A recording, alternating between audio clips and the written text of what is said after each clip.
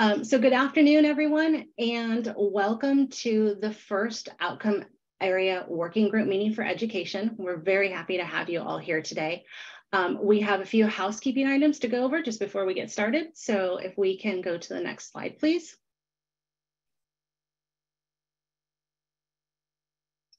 So um, this is, we're, we're, working on, on one piece of this, but um, we, we do have um, ASL interpreters who will be joining us.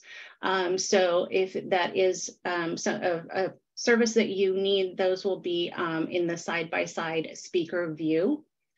we do also have closed captioning if you need to enable that. And then um, in chat, we do invite everyone to introduce yourselves. Tell us um, uh, what organization you're with, if you feel comfortable saying where you're from. It just helps us kind of get an idea of um, who's here today and who's joining us and participating in um, this process. Um, we also ask that when we get to the public um, discussion period of this, that you raise your hands um, and uh, you can use your Zoom hand to do that. And that just kind of helps us um, moderate and see um, uh, who's raised their hand in what order so that when we're um, calling on folks that we uh, are, are tracking against that. So um, one of the things that we want to kind of set the stage for today is as we're moving through this meeting, we've got a couple questions that we'll be um, revisiting. What is digital equity and why is it important? And so I would just encourage you all, um, that we'll be touching on it throughout the entire meeting, um, share your thoughts in the chat um, as we go through on what that means to you and why you think that it's important. Um, all right, so uh, we can go to the next slide, please. And uh, speakers and presenters, if you can just let Mel know to go to the next slide, that would be great. So um, Briefly today, we will have uh, just an overview of the uh, digital equity planning process. Some of you are familiar with it, some of you it will be new for. Um, we also have some um, presenters and speakers here today. Hi, Jess. Uh, we have speakers and presenters here today um, from the NTIA, that's the um, uh, National Telecommunications and Information Administration. Um, we have uh, a guest speaker from um, UC and CITRIS. Uh, and we also have a guest speaker, a senior fellow from the National School Skills Coalition. Um, one of the cornerstones of this meeting and these meetings going forward is um, communicating with members of the public and folks that have lived experiences. And so that's going to be a big piece of this today as well. So we'll have an opportunity to um, engage and talk with one another and um, we will be wrapping up with some calls to actions and, and activities that can be taken, and then um, what the next steps will be. So I would like to hand it over to Scott Adams, Deputy Director for the uh, California Department of Technology, and he's going to start uh, the overview of the digital equity planning process. Thank you, Laura. And uh, welcome everybody. It is uh, it's a privilege and an honor to be here to, today in a, a community of partnership, all aligned around um, digital equity here in the state of California. As Laura mentioned, this is our kickoff of the um, Education Outcome Area Working Group, which is part of the state's digital equity planning process. And so I was going to just give a real quick overview of um, where the digital equity planning uh, process and the digital equity plan fits into the context of broadband for all, which is um, really the, the state's overarching, um, you know, program and, and related initiatives to close the digital divide in the state. Next slide, please. So as I mentioned, Broadband for All is the, the state's commitment to bridge the digital divide and foster digital equity throughout the state.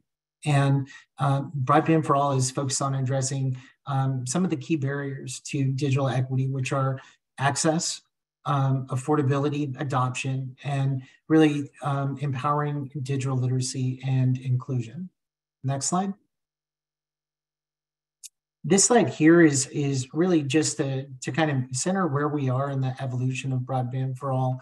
Um, you know, the, the, state's effort had been largely um, aligned at the Broadband Council level since 2010, and that's a multi-state um, agency body with um, nine state agencies, the California Emerging Technology Fund, and representatives of the state Senate and Assembly. And uh, you know, their work has been to um, coordinate broadband deployment and adoption efforts in the state in un and unserved communities um, as determined by the Public Utilities Commission. Um, in two, 2020, um, Governor Newsom issued his broadband executive order, which uh, really directed the Broadband Council to, um, you know, refocus their efforts or redouble their efforts and create a statewide broadband action plan, which um, was done in just four months during the pandemic um, in collaboration with over 700 entities um, and really create a path forward on uh, how the state would close its digital divide.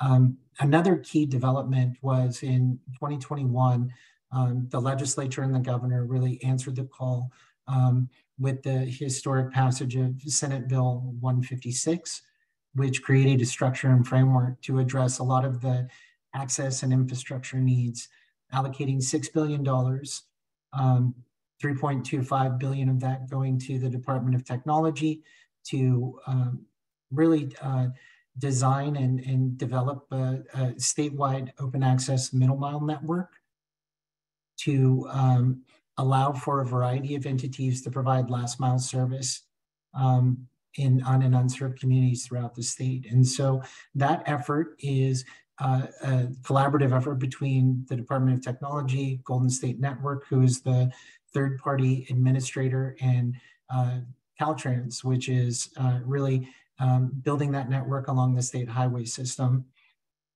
Also important with uh, Senate Bill 156 is that that allocated another uh, two plus billion dollars to the California Public Utilities Commission to um, administer a, a, series of uh, last mile grant programs, uh, a technical assistance program, uh, a federal funding account, and loan loss reserve. Um, to uh, provide available grants to ISPs and other entities to develop last mile network solutions.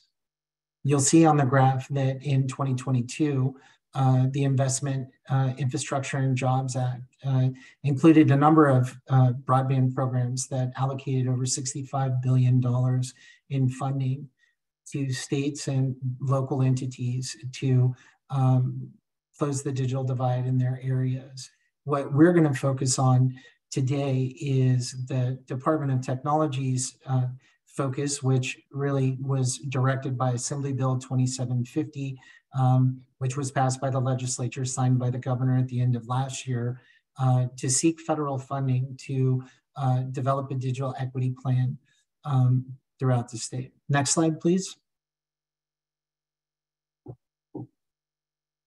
So the, the planning process that we are uh, following over the next uh, several months to create the state's digital equity plan has five components.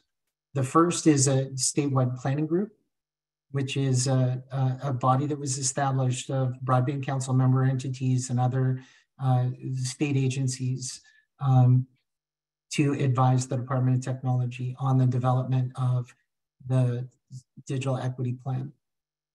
The second component is outcome area working groups, um, which we are here at the inaugural working group that will help identify. Um, actually, I'll go over the um, the responsibilities in the next step. Um, the third component is a series of digital equity surveys to gather information, critical information and data from organizations and uh, individuals throughout the state.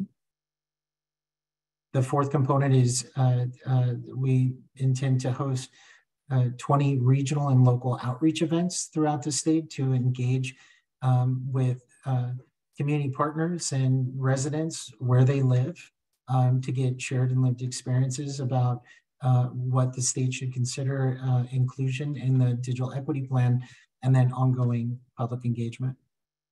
Next slide, please.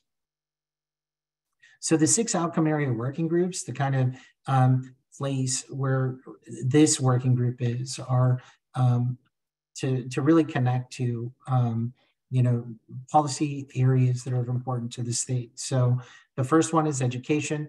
The second one is health. The third, digital literacy and inclusion. The fourth, uh, essential services, accessibility, and civic engagement.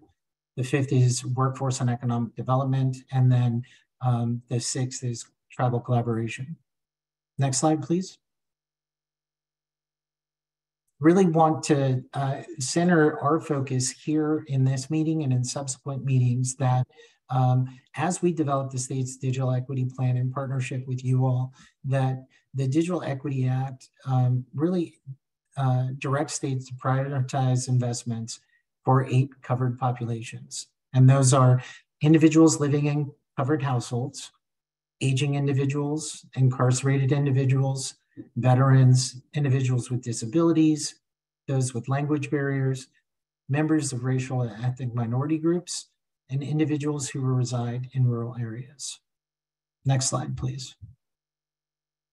So our objective here collectively is we work over the coming months um, is to utilize this working group space to convene subject matter experts and practitioners uh, to develop strategies that align with the digital equity plan priorities and really look through the lens of those eight covered populations. Our objectives over the next many months will be to collectively develop a statewide stakeholder map for uh, this particular uh, outcome area, to conduct an asset inventory of programs, plans, and services for this outcome area. Um, we will uh, really uh, enroll your support and issue a call to action to promote and encourage participation in the statewide digital equity survey, conduct a gap analysis for each outcome area, and then develop recommendations ultimately for CDT uh, to consider for inclusion in the state digital equity plan. Next slide. Oh, and I guess that concludes my presentation. I just want to thank you all and uh, really look forward to this session. Laura, back to you. Thank you, Scott. Okay, so we're going to move on to um, our, our next section talking about what is digital equity and why, why is it important? And this is um, a, an area where I would encourage you, um, as we said at the beginning, to um, add to the chat what it means to you. Um, and as we do that, we'll we'll monitor the chat. We will keep um, keep an eye on that. Um, we really want to hear from you. And as you're doing that, um, we're also going to um, hear from, uh, I already mentioned Gladys, Camille, and Amanda. Um, and they're going to be addressing those same questions. So if we can go to the next slide, we'll just cover a couple things before I turn it over to them. So what is the what is the baseline definition of digital equity that we're starting from? That's a question that we get a lot. And so this is our guidance and where we're where we're starting from, but we very much want to hear from you. We want to know what it means to you and to your communities. So digital equity, and this is from NTIA, is the condition in which individuals, communities have the information technology capacity that is needed for full participation in the society and economy of the United States. So that's where we're starting from and that's where we're building from. So next slide, please. All right, so these are, once again, the prompts for um, the, the chat and also the questions that um, Gladys Palpallatoc from um, NTIA, Camille Crittenden from UC CITRIS, uh, UC, sorry, and CITRIS and Amanda Bergson Shilcock from the National Skills Coalition will be addressing today. So I'm going to turn it over first to Gladys.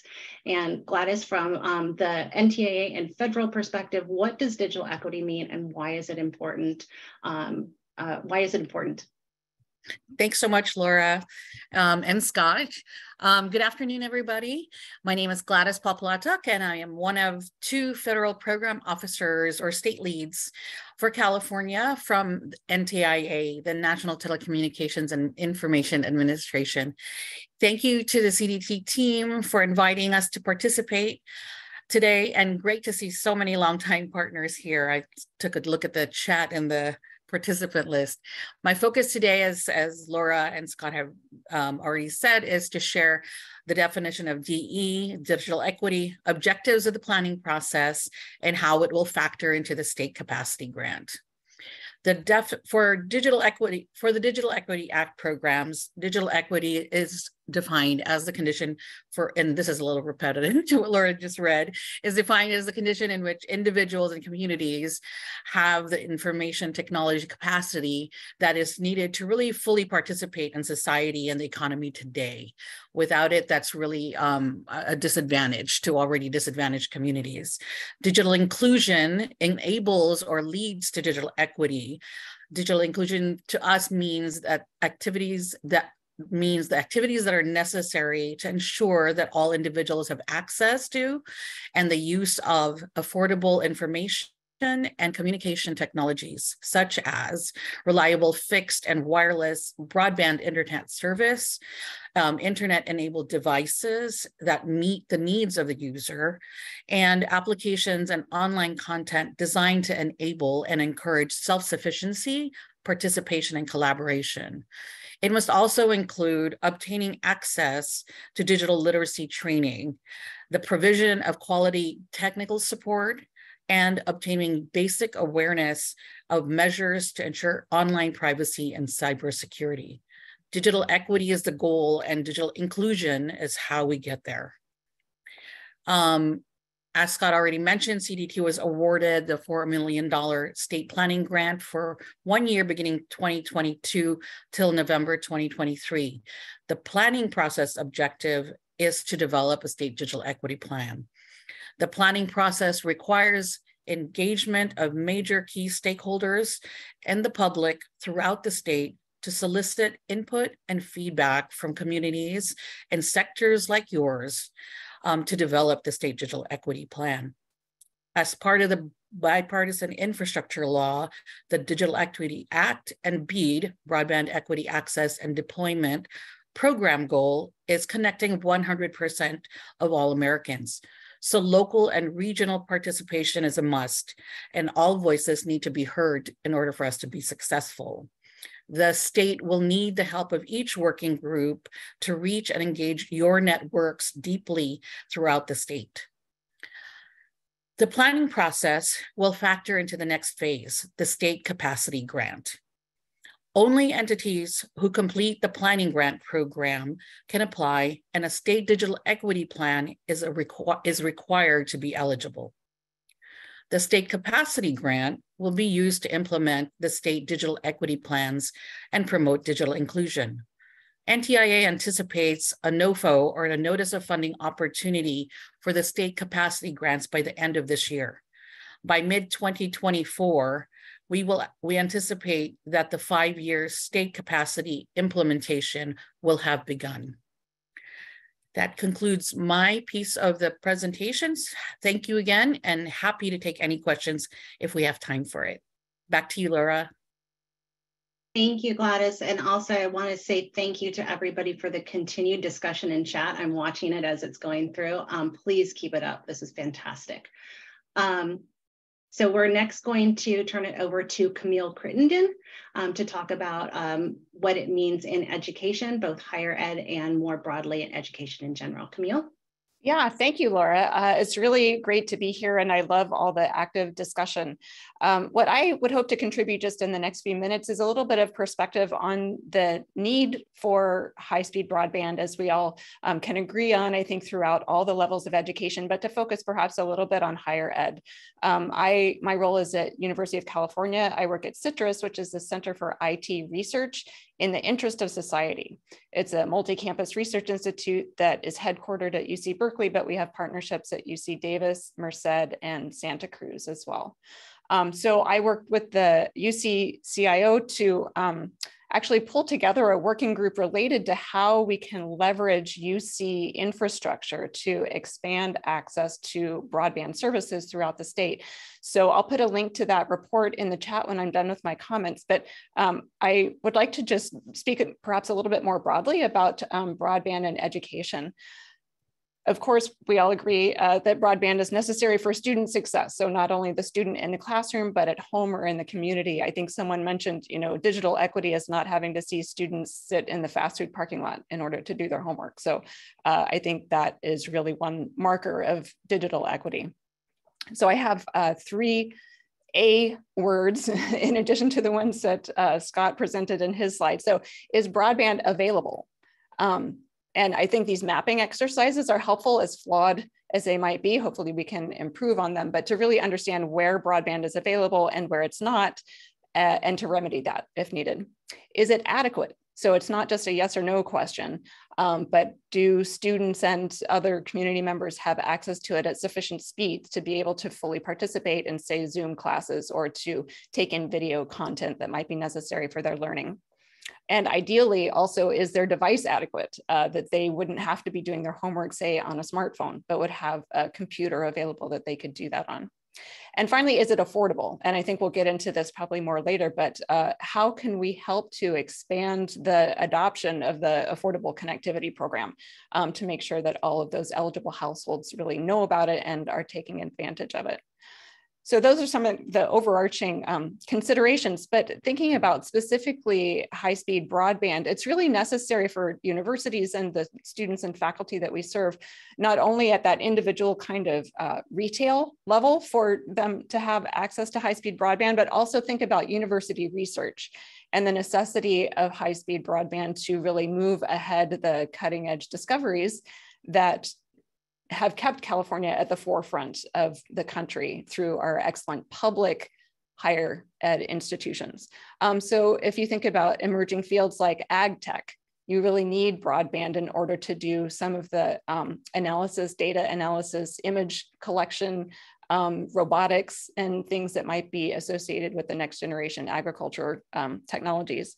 Think about research computing, like all the discoveries in genetics and drug discovery, um, anything that requires large amounts of data to be transmitted over a network. I know CENIC does this well and has partnered well with the uh, with the UCs to make sure that that capacity is there, but we'd love to see that extended the opportunities for high performance computing to the other higher ed institutions as well.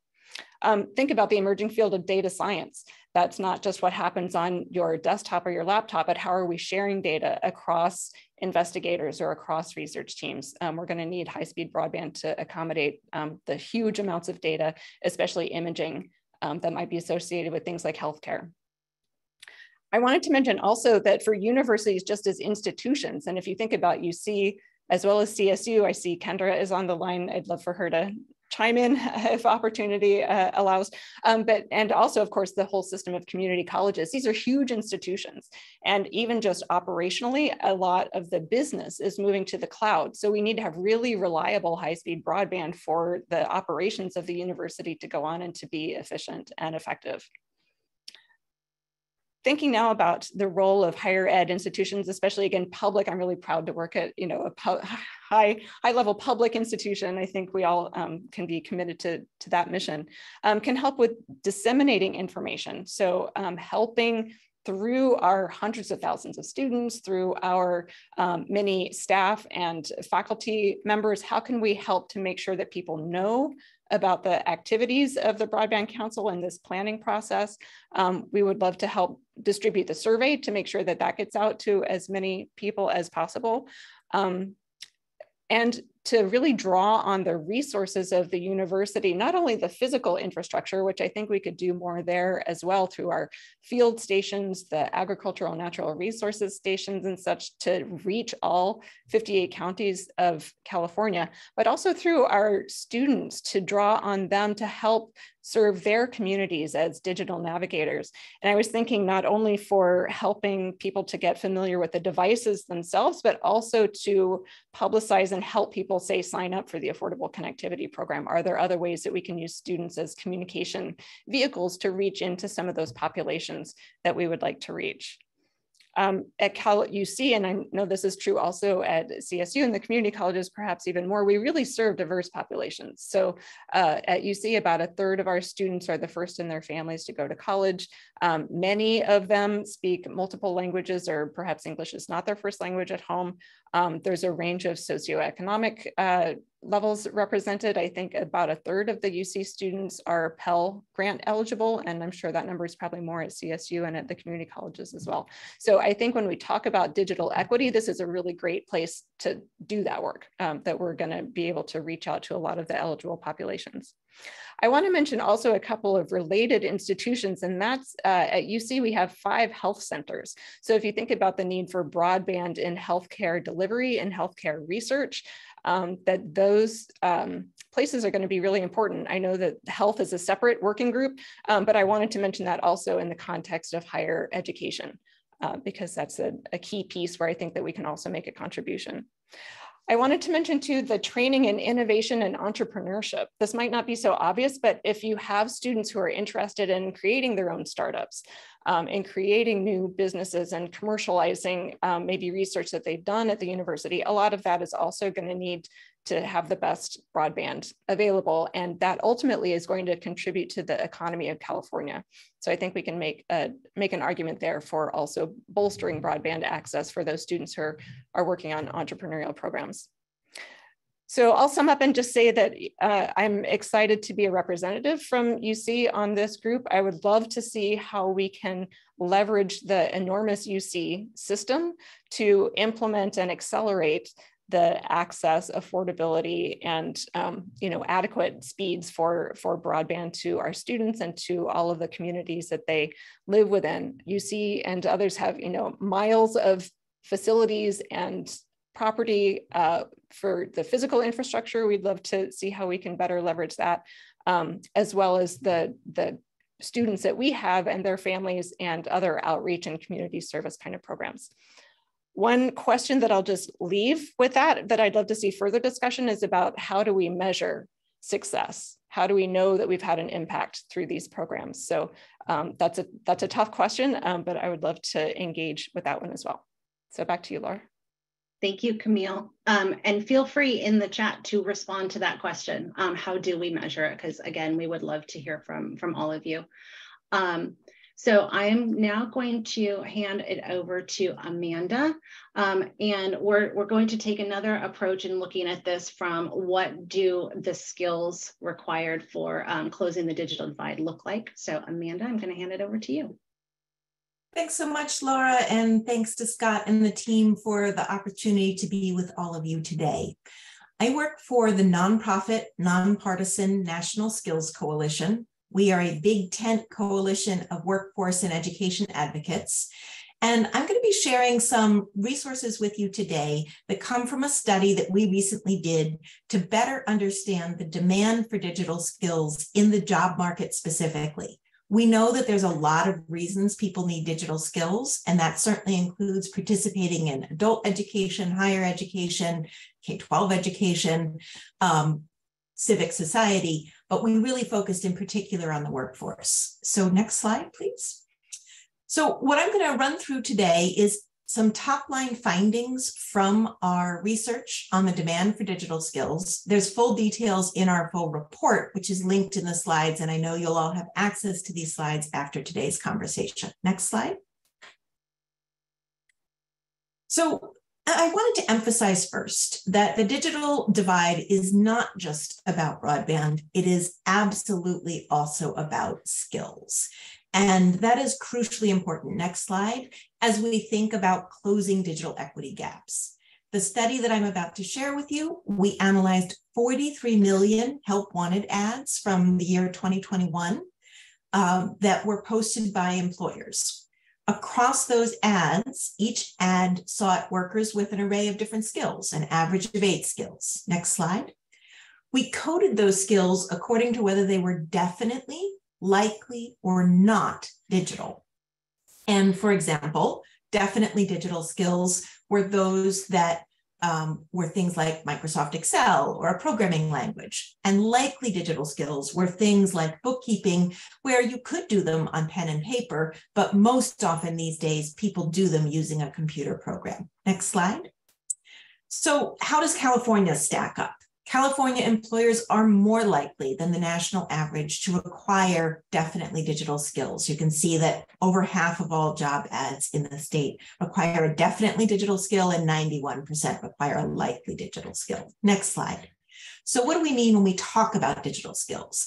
Well, we know that education partners have a huge role in helping people build both foundational and industry specific skills. And I'll talk more about what those are in just a moment. That includes adult schools, career technical education programs, colleges, and of course, K 12. Next slide. So I want to share some examples of how digital skills exist in the real world, right? You can see here an example from the creative field of audio editing. Next slide. Um, you can see also uh, pre-pandemic, a lot of medical office receptionists and administrative staff had responsibility for checking patients in for in-person visits.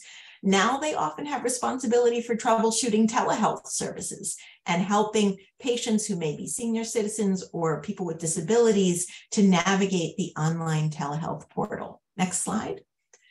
When we think about digital skills, we don't always think about firefighters, but the US Department of the Interior uh, indicated that wildland firefighters increasingly need digital skills. Next slide. Um, ag is another area. Precision agriculture needs uh, greenhouse workers who can interpret sensors, folks who are out in the field using a John Deere tractor or combine harvester need to be able to understand and use the onboard technology in those pieces of very expensive machinery. Next slide. Digital skills also include folks in the energy industry, utility workers, and others who keep our electricity and our broadband on and working. Next slide. So that's a very quick tour through some of the kinds of digital skills that we saw in demand from employers. The take home message of this slide is that employers want people to have digital skills, even if they're hiring for a job that only requires zero to two years of experience. And in the next slide, you'll see that employers want to have uh, digital skills even for positions that require a high school diploma or an associate's degree. So, this is really bringing home the message that digital equity means helping everyone at every level build digital skills, particularly because we hear over and over again that a major reason that people enroll in education is because they want to get a job or get a better job. Next slide. So, we also want to be careful not to make assumptions about uh, people's age and their digital skills right? Sometimes folks assume, oh, this is a problem that the retirement calendar will solve. Older workers will retire and younger workers are all digital natives. Well, first of all, that's unfair to older workers, many of whom are very comfortable and fluent with technology. But second of all, that overlooks the fact that a lot of younger workers have fragmented knowledge. That means they're comfortable with some digital skills, but not comfortable with others. So maybe they're great at sending text messages or making a TikTok video, that does not mean they're comfortable using electronic health record software, right? And so the trick for digital equity is to really think about how do we help people build bridges from the skills they have to the skills they need and really focus with an asset based lens instead of a deficit based lens that suggests that folks are somehow lacking. Next slide. So, folks need both foundational and industry specific skills. What do I mean by foundational? Well, foundational skills are things like um, able to download and install a mobile app on your phone, comfortable logging into a website if it requires two factor authentication, able to use basic office software. But almost everyone also needs industry specific skills. Next slide. So let's talk about what that looks like. Um, Oh, sorry. Okay, great. The next slide I have for you then is the economic impact. So it's a little bit hard to see. Um, sorry about that. But on the left-hand side, we have jobs that require no digital skills have a median hourly wage of $17.62 an hour, whereas a job that requires even one definitely digital skill uh, is a 23% increase in the median hourly wage. That is a difference that anybody would notice in their paycheck. And we see that as jobs require more digital skills, that salary continues to go up. So there's a real economic impact. Next slide. And of course, as people earn more, they also contribute more in taxes. Next slide. So that's the kind of take home. Um, and when we look more specifically from the national data to the California data, we see an affirmation that businesses are really interested in folks with the, that strong base of foundational skills. Next slide. Um, as well as these industry specific skills, right? And I've just put a couple on top here. I was amazed when we went through the data um, how many folks were looking for robotic skills, not just in manufacturing, but in the retail sector and others. Um, dental practice management software way higher on the list than I would have predicted, right? So there's a lot of things that can be embedded in job training programs, community college, and career technical education classes. But it's also important to think about that first step in the community, worker centers, uh, Goodwills or nonprofit community-based organizations, faith-based organizations, libraries, the kind of entry-level skills that they're teaching also need to provide on-ramps to these greater industry-specific skills. Next slide. So now that we have the sort of context on the research findings, I want to just emphasize in my last couple of minutes here how these findings can help inform the state digital equity planning process. Next slide. In particular, um, we've already heard quite a bit today about the importance of investing in broadband and digital devices as part of the federal funding, but it's also incredibly important to invest in digital skills training. Next slide. In addition, we want to make sure that every state, and particularly California's digital equity plan, takes full advantage of the fact that the federal government is very clear that digital equity funds can be used to invest in basic, applied, and advanced digital skills training. So it can cover those kind of foundational entry level classes as well as the more sophisticated ones. Next slide. We also want to encourage California to invest in industry sector partnerships like the high road training partnerships that the state is already operating that bring employers together with education and training providers. Next slide. We encourage the use of census data to supplement these findings to identify areas where there might be gaps, um, particularly for Digital Equity Act covered populations. Happy to chat more about that in the Q&A if folks have questions. Next slide. And of course, the supportive services like childcare and transportation that make it possible for people to be able to participate in education uh, opportunities. Next slide. So that's the end of our presentation, and I've included a couple of follow-on slides here. You've got my contact information, you've got a link to our full report, um, and again, you will be getting these slides uh, after today's event. They will be publicly available. Um, but thank you all so much for the opportunity to chat with you, and let me turn things back over to Laura. Thank you, Amanda. And also, thank you everybody for continuing the discussion in the chat. It's great to see um, uh, what you're talking about and um, following along with that. So what we're going to do right now is we're going to take kind of um, a, a, different uh, a pivot um, and moving toward what we're calling the community and lived experiences discussion. And this is truly intended to be a discussion. So um, when we are talking about what lived experiences are, what we're looking for. And we talked about the eight covered populations earlier in the presentation today, um, is we're looking for experiences from historically disconnected communities, community members, um, individuals, if, if you either are one, you work with um, these populations and are familiar with these stories, if you can share them with us so that we can continue to gain a better understanding of the experiences and unique barriers to accessing the digital world that um, are being experienced. Um, again, we're, we're looking at this from the education perspective, but we're also looking very much at those eight cover populations that we talked about earlier. So this is now where we're going to open things up to um, uh, actual verbal discussion if you want to um, you know unmute yourselves um, or or turn your camera on to talk. I would ask if you raise your hand um, so that we can kind of identify and call on on people um, to to share uh, some of the experiences that you've either had yourself with digital barriers um, or sorry barriers to digital equity as we've kind of talked about what digital equity means here today. Um, or if you have worked with um, groups, organizations, populations that have experienced that. We would really like to hear from you what you are seeing and what you are experiencing.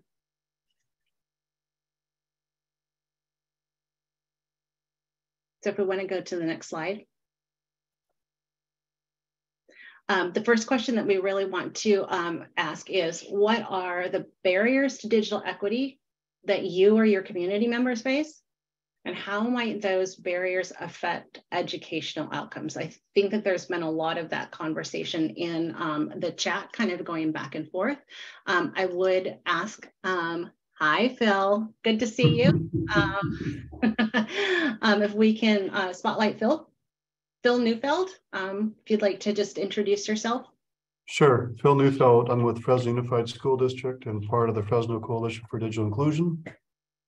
And Laura, good to see you. Um, I've been co-leading a personalized blended learning program over the last since 2016, and um, some it's just uh, there are things like Khan Academy. I mean, when my daughters were ninth grade, and they got to just say girls in STEM, they they completed their college math before high school was done. But in ninth grade, I'm like, I can't help you really well around this stuff. Let me turn you to Khan Academy. Great resource, and there's lots of resources like that. What I found was that our teachers uh, were basically having to make, as we shifted to digital in our district in intentional, meaningful ways, they would basically go, hmm, I can't actually do that because when these kids go home, they don't have access to internet uh, across their daily journey in their homes. They just don't have access. So you'd basically have either less rigorous, less ready, future ready instruction that was equally delivered in the classroom. But then when the students who have privilege would go home, they could actually get the rest of the kind of instruction they needed. Um, or you'd have differentiated instruction that basically reinforces the inequity. So I would say the, the first barrier and uh, is the amount of students who are unserved. And uh, Scott Adams, who has heard me say this often, the, the FCC maps were highly inaccurate. There are way more unserved in the city of Fresno.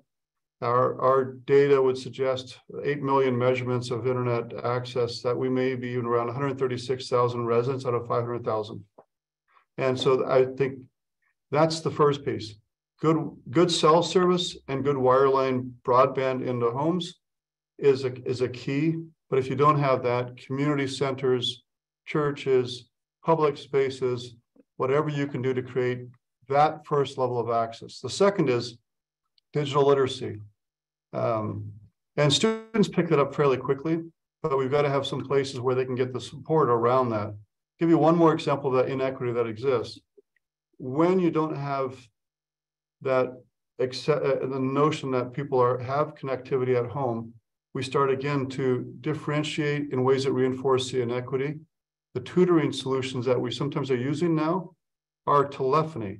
They're not face to face, they're not rich because these students are connected. And so we accept that.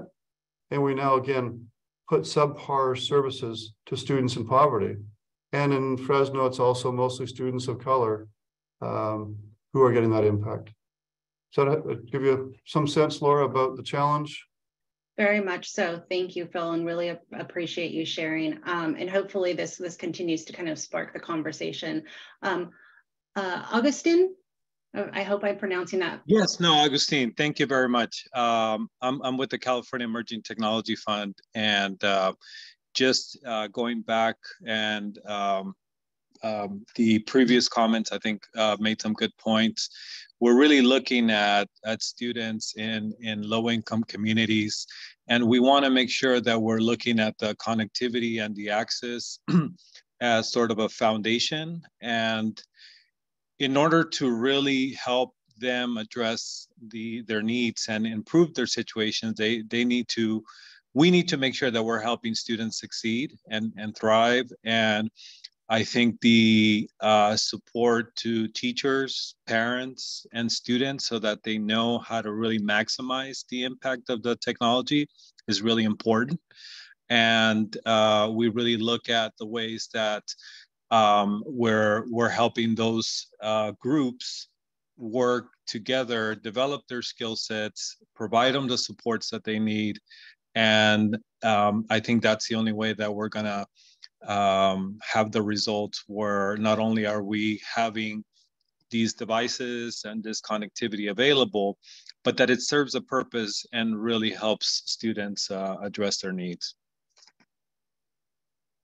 Thank you so much for that. Very much appreciate the, the feedback. Um, Bree.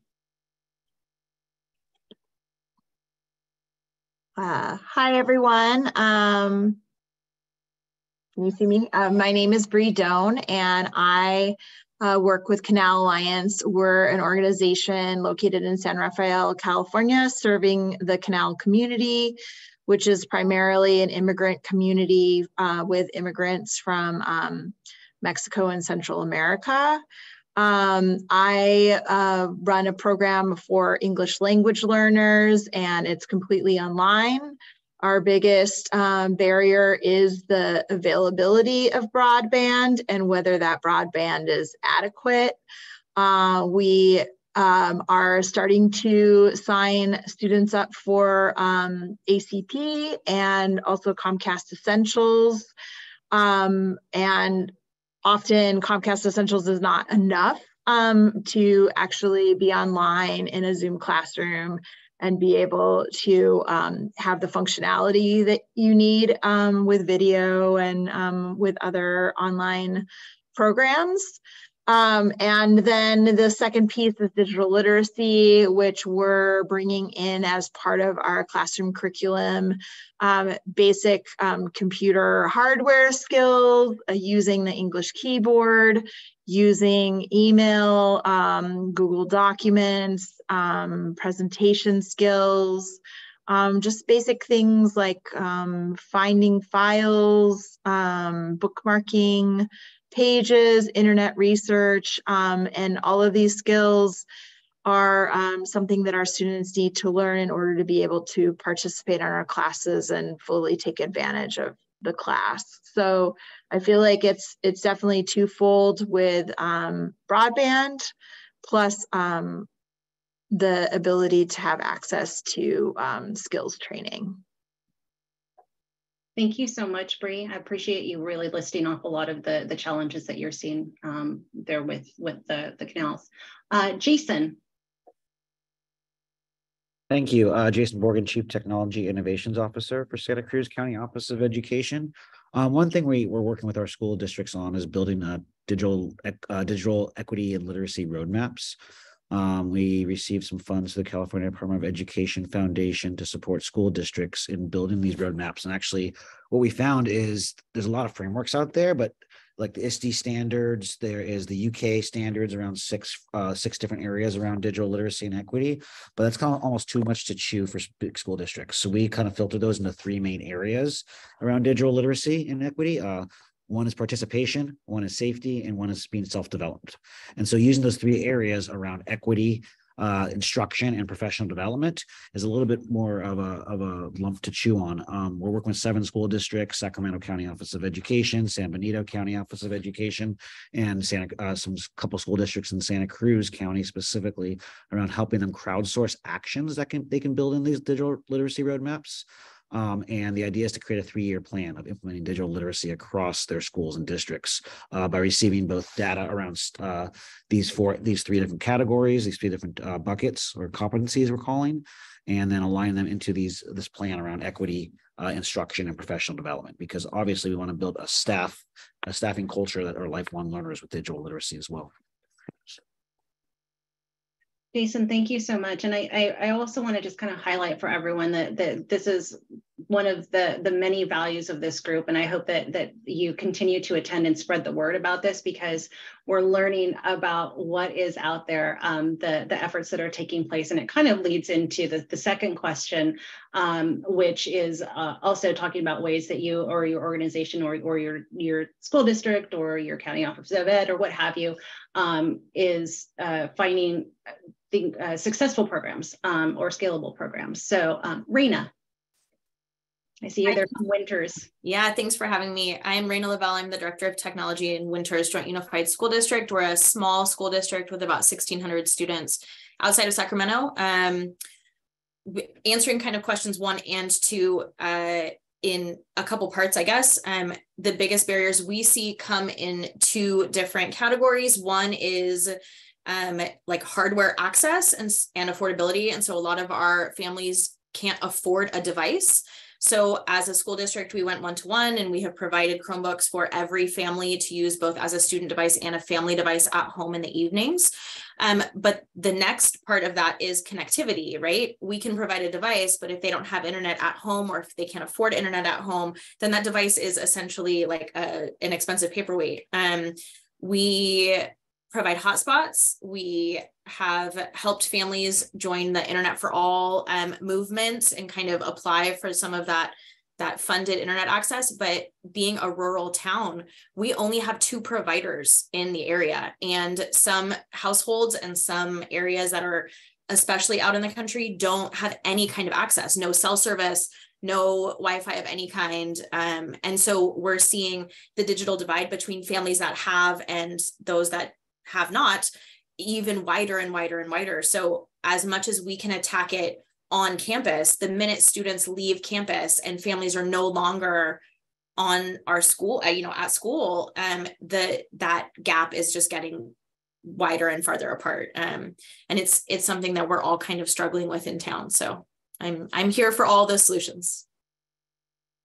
Thank you, Raina, um, and look forward to having you um, participate in our in our um, our upcoming meetings as well. Um, uh, Lewis, Luis, sorry. yeah, no worries. Uh, thank you.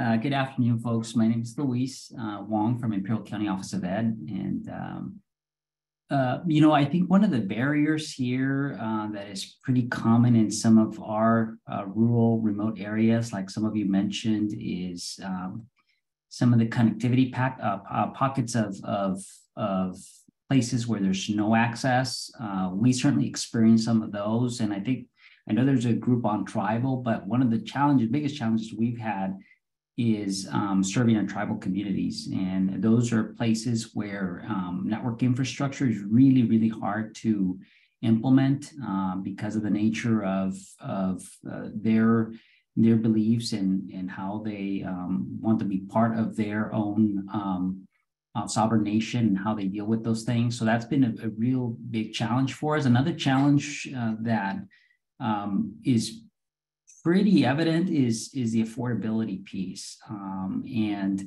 even uh, navigating through some of the plans um, or the broadband subsidy programs that are out there uh, prove to be challenging um, or those offerings are really not um, exactly where families need so um, I think there's a lot of that still, you know, and even with subsidies uh, in place, uh, we just kind of find that sometimes the, the, the cost of, broadband just goes up, you know.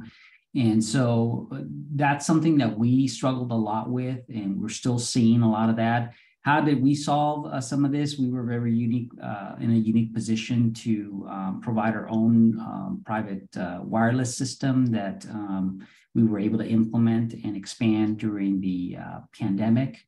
And it, it, it served well. One of the things we've learned through that process is that families um, relate well with educational institutions. So uh, their schools and that intimate um, uh, relationship with their students uh, served us well to be able to provide them quick access to uh, broadband where needed. Um, we found that in some places our system uh, allowed uh, something we didn't expect, but complemented uh, the capacity that families uh, did not have with their existing provider, and so so that was reassuring um, in terms of what we were doing. And so um, you know, we, we, we found those things uh, to be useful, and then we we we complemented um, uh, where our network or wireless network would not be um, would not reach folks. We complemented with other offerings. So uh, there's not a single tool for solving broadband in your community. You, you know, you're going to really have to uh, look at multiple ways of, of trying to get um, broadband to everybody. But um, uh, affordability is one, and then hard to reach places uh, like tribal communities is another big one that we really need to ensure that we, we solve through this process. Thank you. Thank you, Luis. Uh, Terry. Howdy, yes, my name is Terry Rodriguez. I'm on the Placer County Democratic Central Committee, and uh, I'm also the chair of the Legislation Committee. And we have been following those uh, broadband bills, uh, especially as it concerns my area of uh, Auburn, California, where we're challenged by our rural area, and yeah, you know, we're essentially a community in the trees.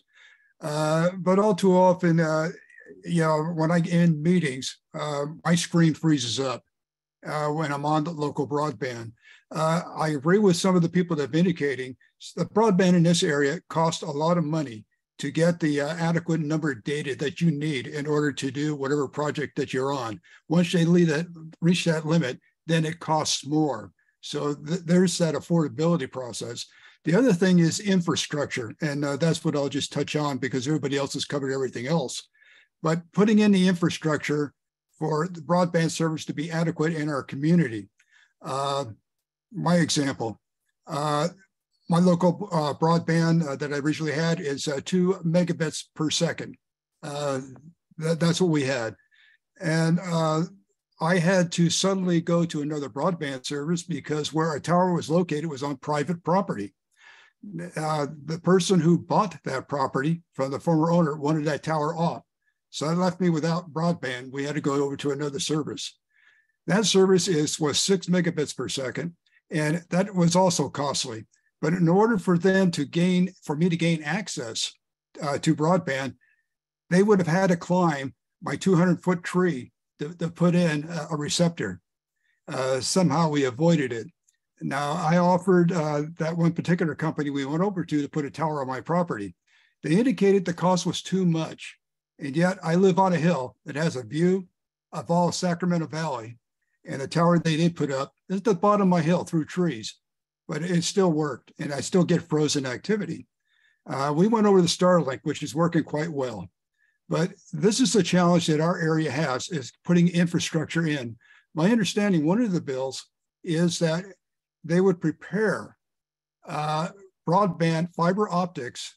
And I believe the bill called for taking a town, a rural town, fitting it to service a fiber optic community, but then to expand fiber optics into the hills along all roads. Now, I think that's going to be a challenge, but will it be adequate, especially during emergency services? What if we have a fire? What's going to happen to that fiber optics? Starlink came through with a good plan. They have they will bring in a wagon in, in an emergency service where they'll provide broadband to the locals until they get it reestablished. But that infrastructure is going to take time. And in the meantime, all those people that are going to need to be serviced, that these gentlemen and ladies, excuse me, uh, have indicated the need for, is going to take time. I talked to, I had to say my neighbor because you know where I live. Uh, he's a leading authority on radio communications, and he was indicating it's going to take some time to implement all this. So I guess my question here at the end of all this is, how long before we would have it all implemented down to item eight, the rural communities? Thank you.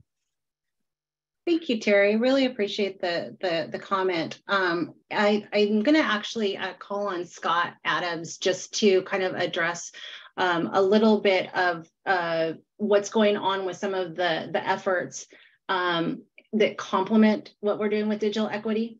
Um, and uh, we can also put some additional information in the, the chat um, for uh, the programs that he's going to mention. So Scott?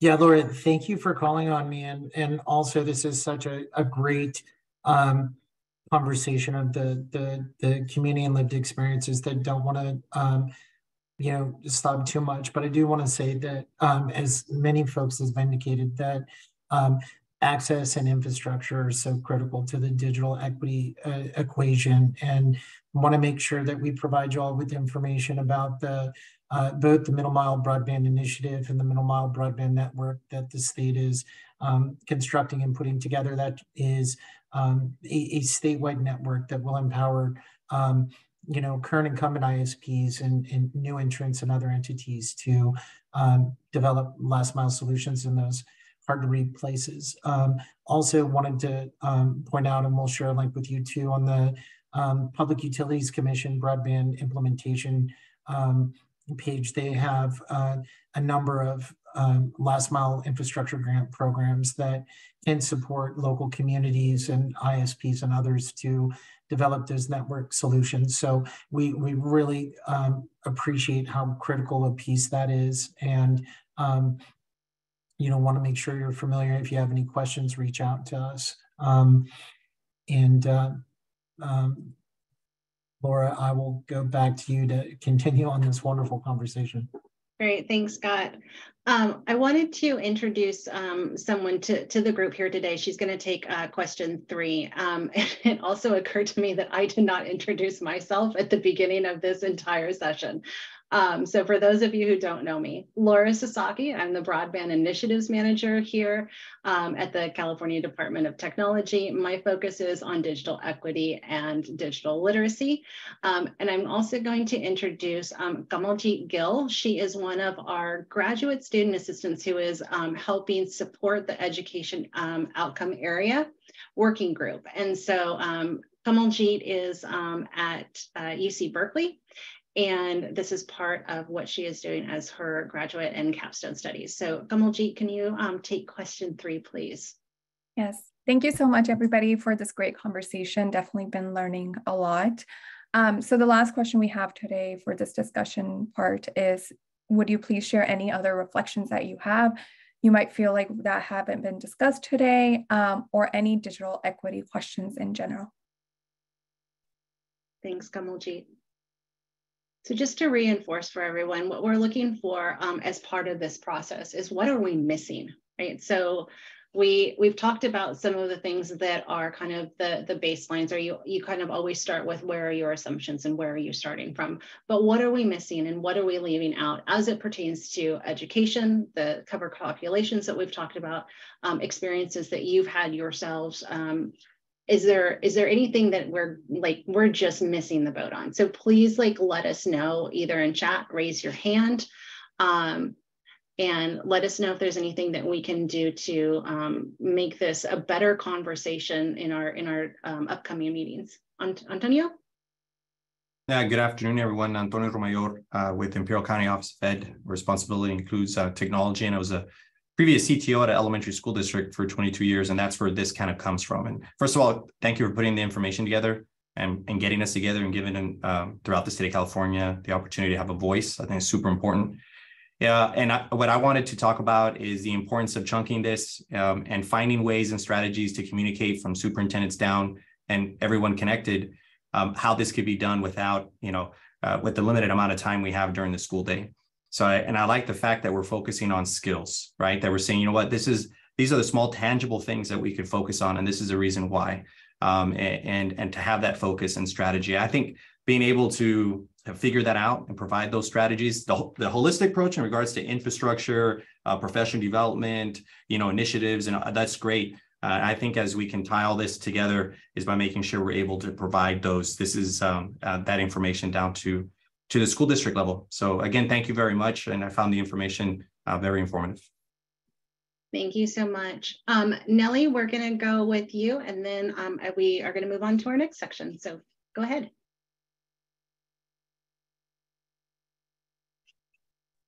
Okay, now I'm unmuted. Hi, uh, I'm thinking about children with disabilities in the educational system and a lot of parents who are of low income immigrant backgrounds, uh, being able to afford maybe a voice recognition software for, for students who have dyslexia might be cost prohibitive. So having a resource center or a, a resource uh, page or a person who's connected to, um, in California, they call it Ability Tools, which is a center by which you can rent out the uh, uh, the technology and test it out as an adult with a disability, who I, which I am.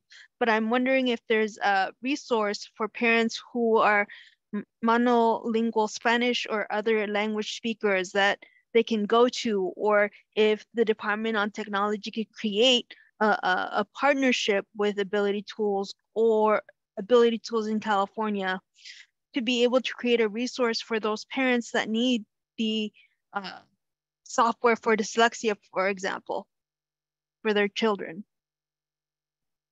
Thank that you so much. You know, thank you so much. I really appreciate that and appreciate you sharing your experience as well. And um, it's it's ironic because you led into the next section probably without knowing it.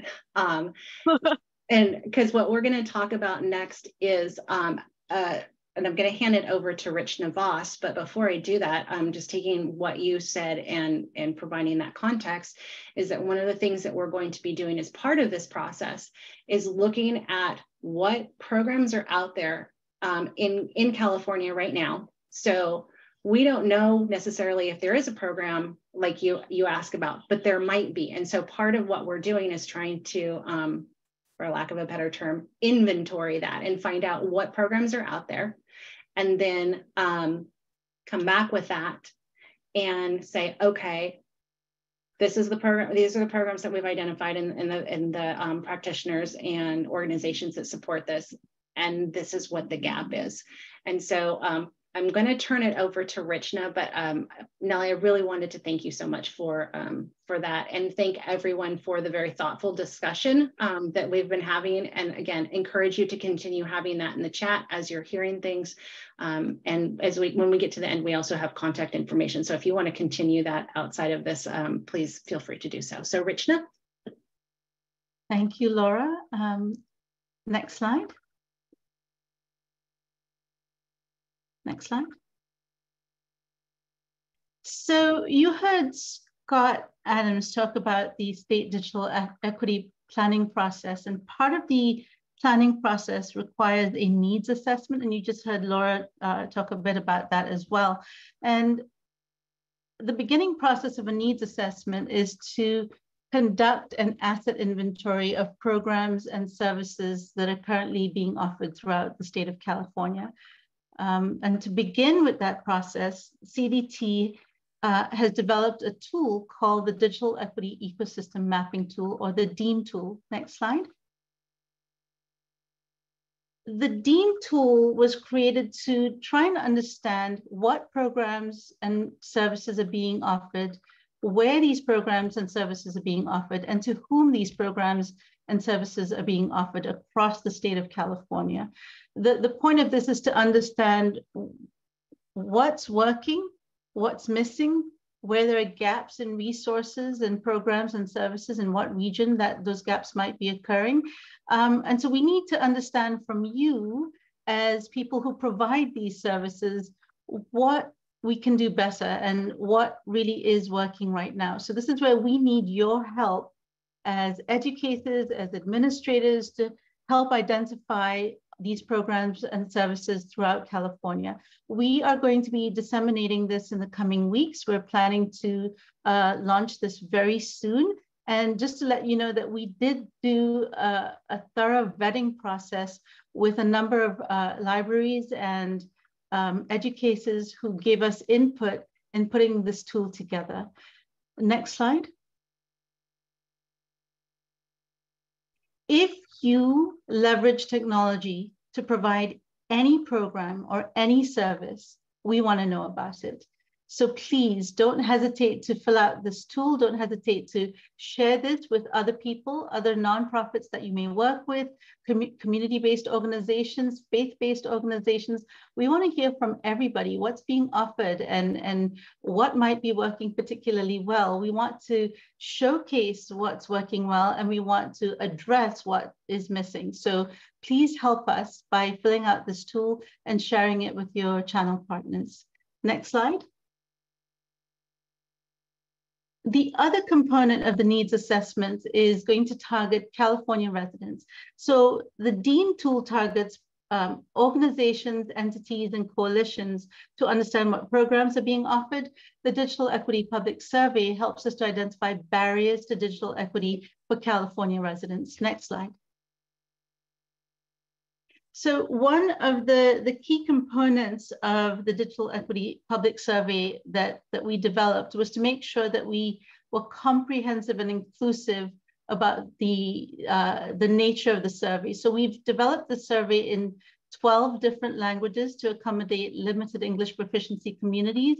We've taken into consideration all accessibility features to make sure uh, people with visual and uh, auditory impairments can also uh, complete this tool. So we want to make this as engaging and inclusive as possible because we want our California residents to tell us where, where they're, they're identifying barriers to their own internet accessibility, to internet affordability, and internet adoption in the household. We will be launching this uh, in the coming weeks as well. And this again is another tool that we've vetted throughout the state of California with input from various organizations and state agencies as well. Next slide. So this tool that, that we are currently offering uh, for the Digital Equity Public Survey will be um, disseminated in all 58 counties in California, and we will oversample for the eight covered populations. It will be offered in an online survey as well as a phone survey. And we just wanted to give you a, a sense, a sneak peek of what that uh, public survey might look like. So if you don't mind sharing the, the view of some of the questions that librarians and educators might see. All right, I guess that we will go to this um, this page, this is just an example of what the households might actually see when they're filling out this tool. So this will be in multiple languages and we want to understand how people are using the internet at home. And if you don't mind clicking on the other tab to show the DEEM tool, this is what we will be asking you. Uh, this is just a sample of some of the questions that we want to know from you about what you're seeing and what you're offering um, in the library and school and higher education centers around California. We can go back to the um, main PowerPoint. Thank you. So again, these tools are critical in helping us to understand what's going on in the digital equity ecosystem across California. So whatever you can do to push this out to California households to complete so that we can get a good response rate would be much appreciated. And same thing with the DEEM tool, please push that out with the people that you partner with, that you work with, so that we can get a good understanding of uh, what programs and services are out there. And with that, I'm gonna turn this back over to Laura. Great, thank you. Oops, sorry about that. I think I have a motorcycle going by right now. Um, so um, other ways to get involved in, in the process. Um, I think uh, some of you have already done this, but uh, we also are asking for you to sign up for updates on the Broadband for All portal, which is essentially our website um, with all things uh, broadband, and we'll have somebody put that link in the chat. Um, and I just also wanted to let folks know there have been a, a several questions. Yes, you will be getting um, uh, the slides. We can send those out um, pretty quickly after this. Um, and then we will also be posting um, transcripts, recording, and um, the, the slide deck up on the website as well. So it will be, it will be there. so number one, we can you can sign up for for the updates. Uh, you'll receive uh, email updates on events on things that are happening with digital equity. Um, attend a local event. So when Scott was talking about the the different um, components that are our our approach to digital equity, um, we will be having uh, local and regional events, and those will be um, posted on the website as well once we have those dates and locations available and also completing and sharing um, the, the digital equity public survey with um, friends and families and community members. Um, that is just to um, kind of uh, reiterate, separate from the digital equity ecosystem mapping tool. So we have two different um, surveys going on. So next slide, please.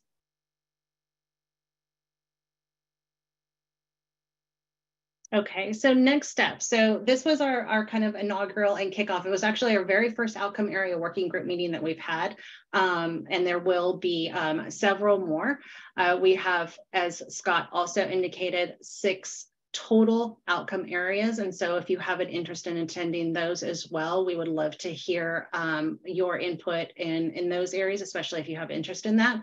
Um, education and educators um, span not just the education um, outcome area, but you may have um, programs that you work with in, in that serve those other areas as well. So um, the next step for this working group for education will be um, helping kind of develop strategies uh, that align with the digital equity planning priorities that we talked about. Um, and a big part of that is really just kind of the conversation that we have going on today, um, as well as gathering that information from the surveys. Um, conducting a gap analysis, so taking a look at, um, again, where we find that we stand in California, um, and where the gap is between that and actually achieving digital equity. And then taking um, all of that information and data that we are, are gathering throughout this process. And I think we, we've said uh, a few times that it's a month long process. Um, and using those to uh, provide recommendations from the education outcome area working group up to um, Department of Technology for inclusion in the digital equity uh, plan. Um, and we had a question, sorry, just addressing something that popped up in chat. Um, that will be up on the Broadband for All website. And if I could just ask a team member of mine to post where the uh, past events will be, because that's where it will be listed. Uh, next slide, please.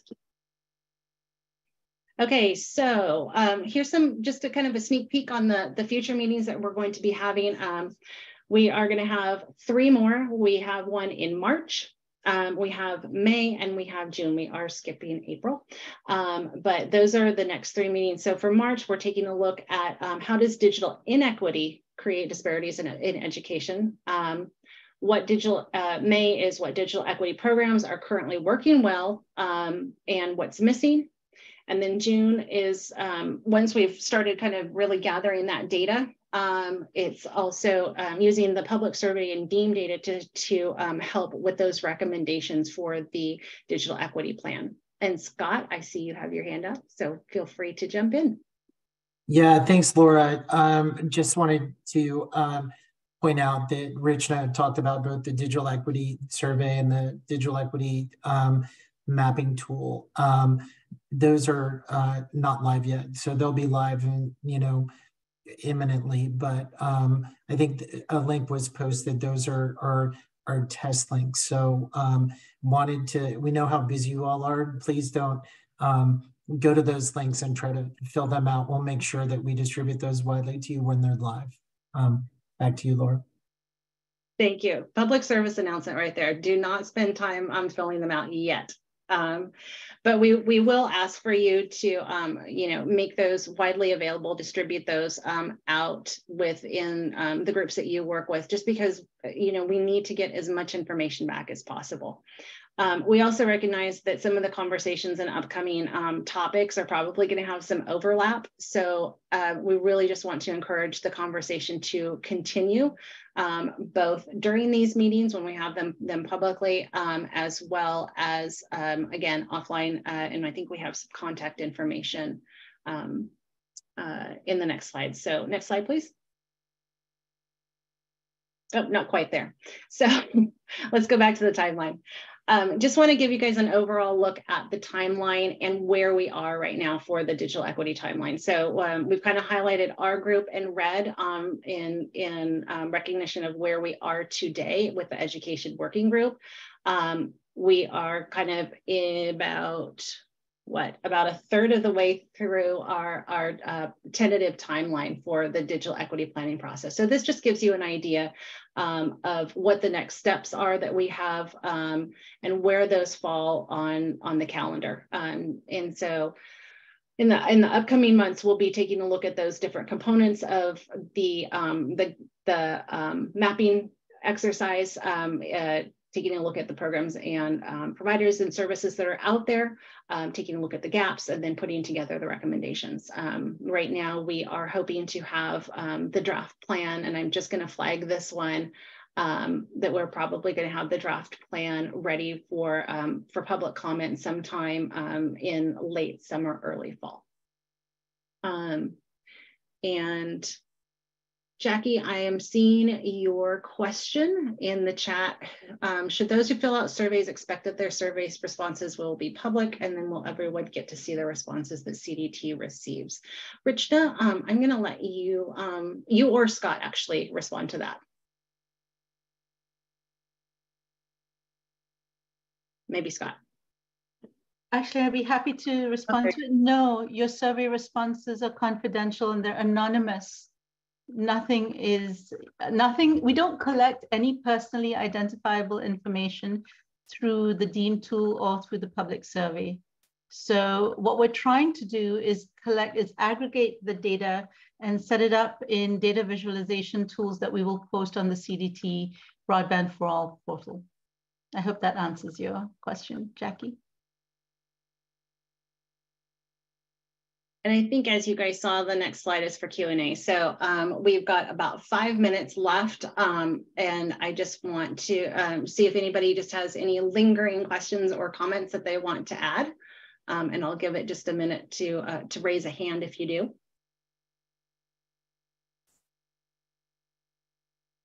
Oh, All right, seeing, seeing, uh, oh, Phil, there you go. I'm just gonna, I'm gonna call out something that Scott in a conversation on the survey form had an email back to me. We've all got to be part of the answer of how is this survey going to get distributed? And by using our networks, the information will be richer. And so, yeah, we'll all do our part. So thank you guys for thinking so holistically about digital inclusion. Thank you, Phil. Thank you so much for the for the support. Um, all right, if we can go to the next slide. Um, we would love to hear from you. Um, so thank you to everyone for your time here today, for um, taking the time to spend with us, for the conversation that we saw going back and forth in chat. Um, and we really want to encourage you to um, share this meeting with other colleagues and counterparts and interested parties so that as we go forward, we continue to have um, more and more robust discussion and feedback. Um, in the interim, if you want to reach us at the Department of uh, Technology, the Office of Broadband and Digital Literacy, um, we have uh, a general uh, digital equity email that is for this process, um, and that uh, is the, the email uh, address that's up there. Um, again, you'll have these slides, so you will have our contact information. Um, uh, if you want to contact those of us um, that were on the that were presenting today or helping support, um, we have our contact information there. And please feel free to reach out to us. Um, we would love to, um, you know, continue the conversation. Um, we look forward to getting together again. And I am so sorry. I should know the uh, date and time for the next one. And I have some someone put that in chat for me. Um, but at our at our upcoming meetings. So I think, do we have any more slides, Mel? Thank you. There you go. Thank you everyone so much um, for joining us on this February 14th of 2023, and we look forward to seeing you at our March meeting. Thank you.